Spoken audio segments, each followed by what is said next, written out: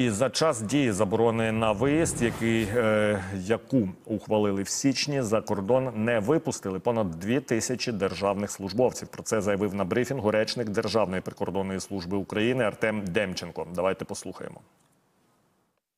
За час дії цієї норми на державному кордоні було не пропущено більше двох тисяч осіб, які власне обіймали посади, які перебували на контролі е, Державної прикордонної служби, які намагалися виїхати не, е, не з тими, не за тими умовами, які визначено в правилах перетину кордону, як я зазначав, це або ж до е, або ж з метою службового відрядження, або ж слідуючи чи супроводжуючи своїх дітей.